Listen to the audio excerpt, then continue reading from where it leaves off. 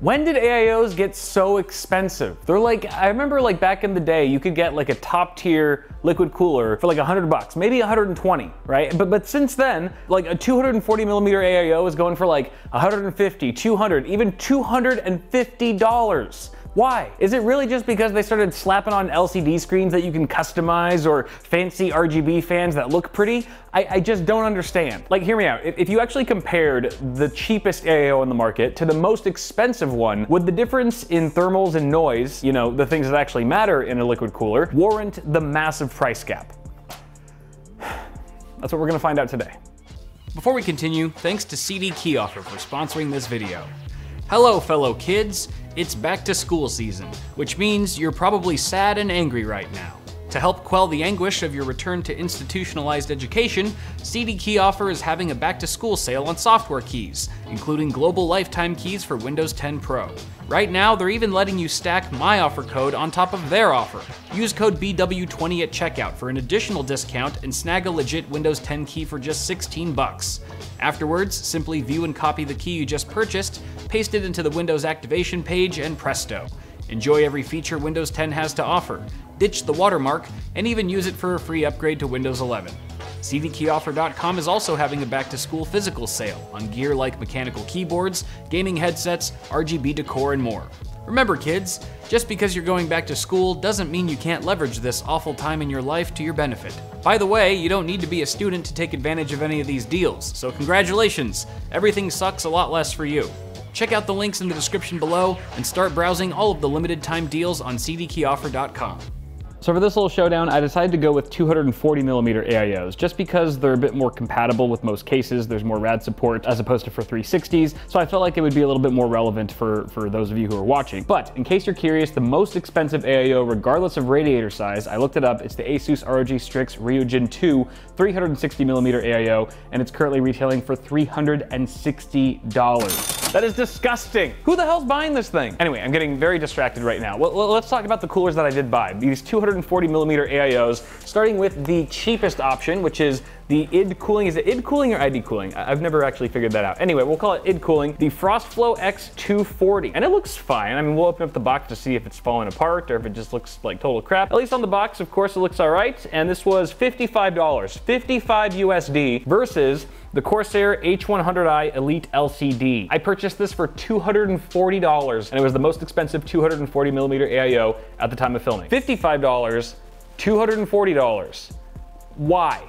Why? Even if the quality of this one is infinitely better than this one, and this one just keeps dying or whatever, you have to keep replacing it, you could still buy four of these, and it would still be cheaper than buying a single unit of the H100i Elite LCD. Now, if I was a betting man, I would bet that the Corsair cooler is cooler and quieter than the FrostFlow here. Now, I'm not knocking people for their purchases. Anyone who bought this, if you're happy with it, that's all that matters. Maybe you bought it because you love Corsair products, or it matched really well with the rest of your system, or you really love the RGB fans, or you know, you just had to have that custom cat GIF running running on your cooler at all times. Whatever the case may be, you are perfectly valid in your purchase. But for anyone else out there who solely cares about performance when it comes to cooling and noise, this is the video for you. And for the record, I'm not bashing on these fans just because they have RGB. These are supposed to be good fans. These are maglev. These are some of the best fans that Corsair currently offers, which is why after we do the initial test of each cooler, how they perform right out of the box, I'm gonna do a fan swap. I'm gonna put these fans on that cooler, these fans on that radiator, and we're gonna test it again because I also wanna see how much of the cooling performance of a high-end AIO like this is due to the fans versus everything else, like the cold plate or the pump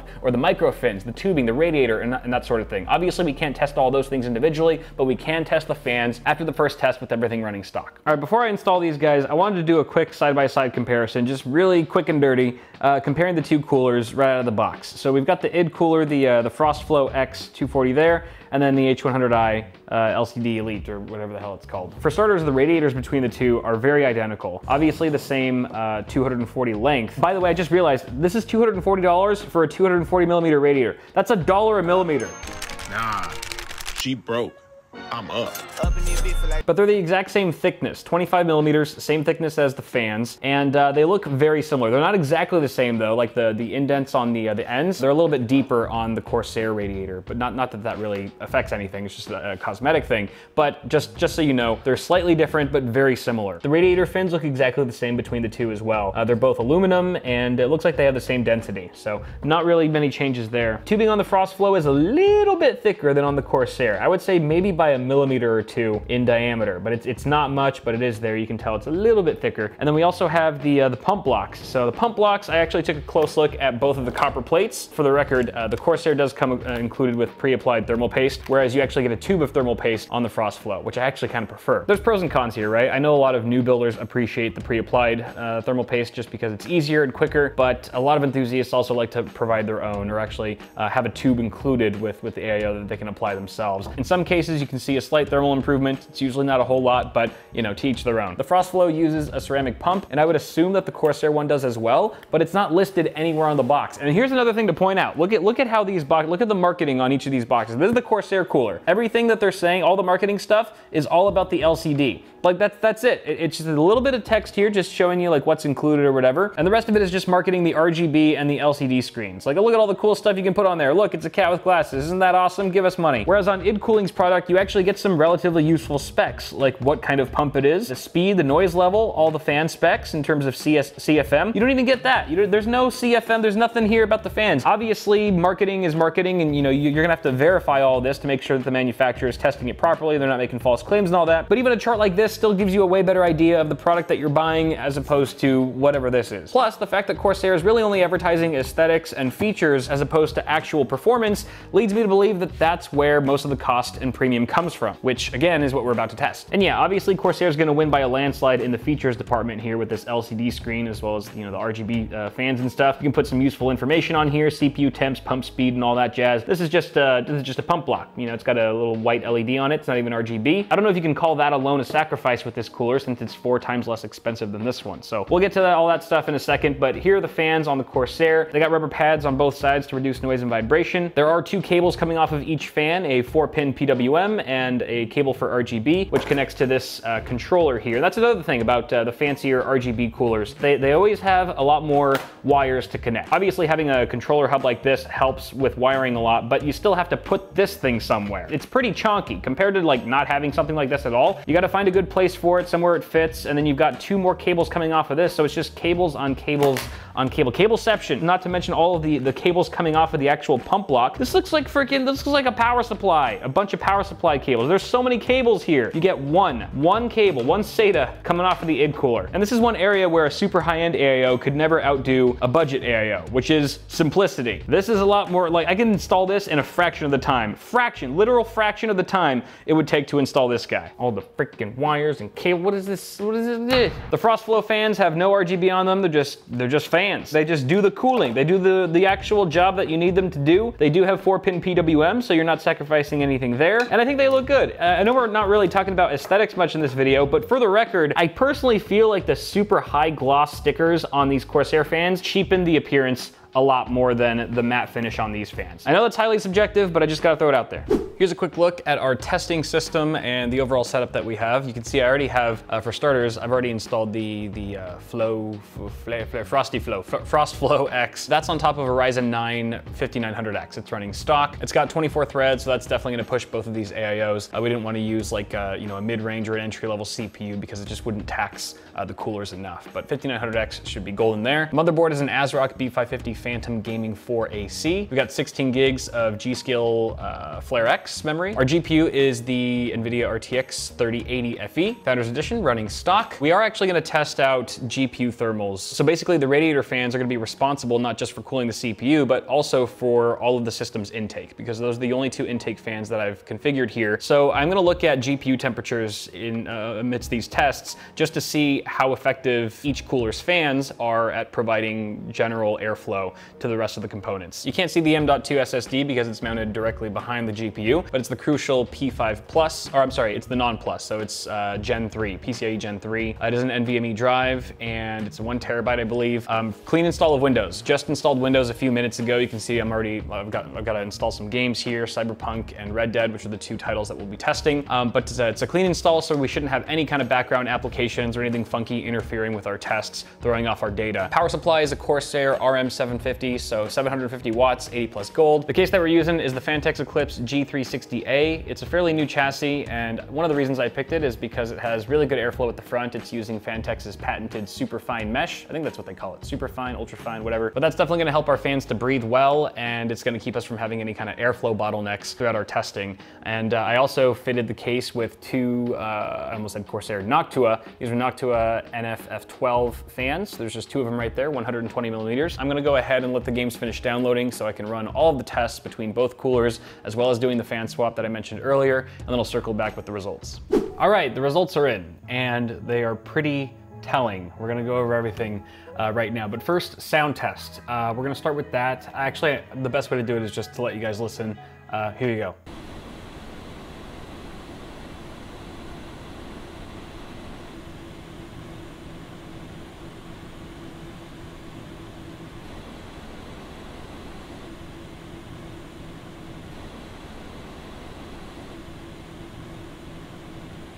So as you could probably hear, the fans on the Frostflow are a bit higher pitched than the Corsair fans, but that's not to say that they're a whole lot louder. They are a bit louder, maybe a by a couple decibels higher at most, but uh, it, they're fairly comparable. They just have very different noise profiles. Personally, I prefer the lower pitch sound of the Corsair fans, but there is an unexpected perk to the, the id cooling fans being a touch louder. There's a bit of whine. There's a bit of like fan whine on my RTX 3080 FE that's in there. And personally, I find that sound a lot more annoying than any of the fans here. And you can actually hear the whine a lot more on the H100i because the fans are a little bit quieter, whereas the fans on the Frostflow pretty much drown most of that sound out. In fact, I didn't even really hear any whine until I swapped over to the uh, uh, the H100i. And I was like, what the hell hell's that whine? Oh, it's, it's the 3080. It's been there the whole time. I just couldn't hear it with the id cooler.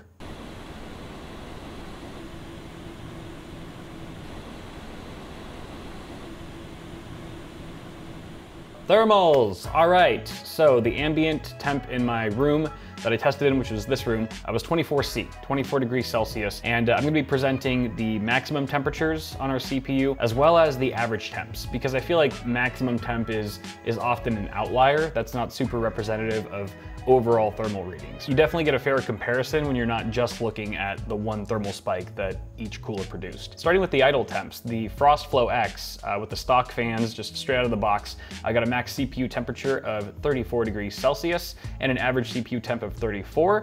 But when we slapped the Corsair ML120 fans onto that cooler, we saw the max and average temp drop by two degrees. So it's a small difference, but it's measurable. Um, and then when we switched over to the H100i Elite LCD with its stock fans, we didn't really see too much of a difference between that and uh, the Frostflow with, with those same Corsair fans.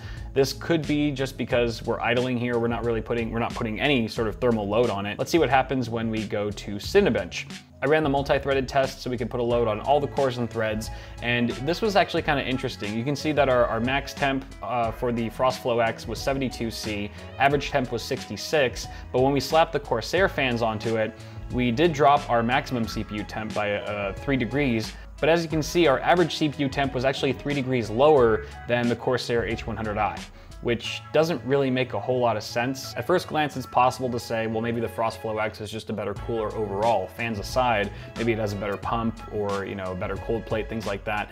But uh, looking at the results later on, we'll see that that's not the case. I think what's really happening here is that the Cinebench run is just too short. I mean, the 5900X does this test in about 30 seconds, which, you know, is a thermal load, but it, I don't think it's long enough for, for us to really get a long-term and thus more accurate result. At this point, you know, the, uh, the, the, CPU isn't being heat soaked at all. And so it's possible that the H100i is initially slower to perform than the Frostflow, but over time it could very well catch up and even surpass it which we're about to see. Cyberpunk 2077, this is the built-in benchmark.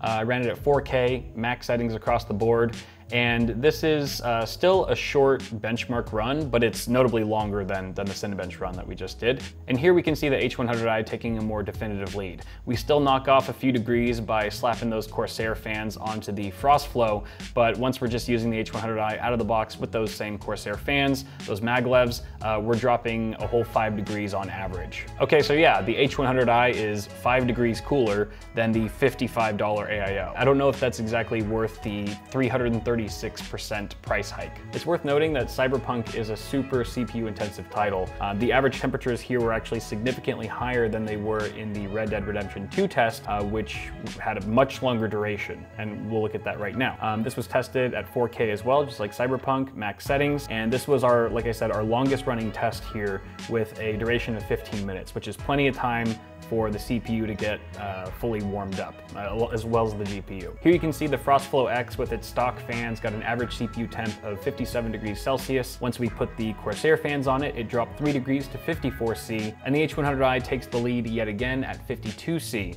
But this indicates that you can buy the absolute cheapest AIO, slap on a couple high-end fans, and get within 2 degrees C of the most expensive AIO that you can buy, um, which is stupid. And even if you were to do that, if you were to upgrade the Frostflow X with, you know, a couple high-end fans that were 25 bucks a pop, that's still only $105 that you'd be spending versus the, again, 240 bucks of, of the Corsair cooler. Uh, and then this is the one test that I, I also documented the GPU temps just because it was a long enough run, again, uh, allowing the GPU to get heat soaked. So here the stock Frostflow X got an average GPU temp of 74C, with the Corsair fans, it dropped one degree to 73, and the H100i got a lovely 69C. Um, that's, again, a five degree drop. It seems very consistent and repeatable. While those are measurable gains, those aren't really significant when you're talking about the price difference between these two coolers. I think it's interesting that there's exactly a five degree difference between both coolers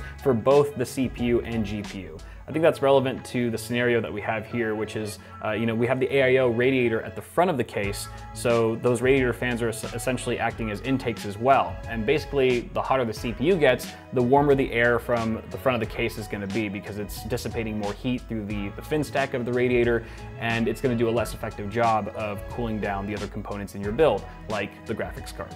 Uh, in a nutshell, the Corsair cooler, yes, the H100i, it, it looks cooler. It's got RG, well, I guess that's subjective, but you know, it's supposed to look cooler in theory. It's got, you know, some nifty features, some cool features. There's some extra functionality within the iCUE software. But if you're looking at this from solely a performance perspective, I, it would be ludicrous to recommend the H100i, at least at its current price. You know, if the Corsair cooler knocked off 10, 15, even 20 degrees, then the narrative today would be different. But this demonstrates the extreme cost of aesthetics and features that have somehow infiltrated the CLC market over the last few years. And uh, I don't like it. That's the conclusion of, of all of this data is I, I, don't like it. That's gonna do it for this one, guys. That, that's all I got. So let me know what you think down in the comments below. Thank you so much for watching this video. As always, toss a like if you enjoyed it. Get subscribed for more tech content on the way, and I'll see y'all in the next video.